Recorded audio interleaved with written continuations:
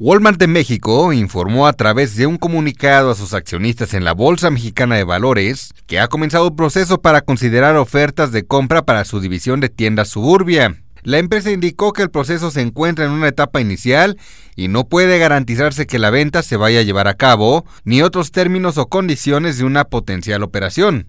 Actualmente, Suburbia cuenta con 117 sucursales, ubicadas en 44 ciudades en 29 de los 32 estados del territorio mexicano, y se especializa en ropa y accesorios para toda la familia. Para diciembre de 2014, la tienda representó el 3.5% de las ventas consolidadas de Walmex. Con información agencias para el Economista TV, José Alberto García.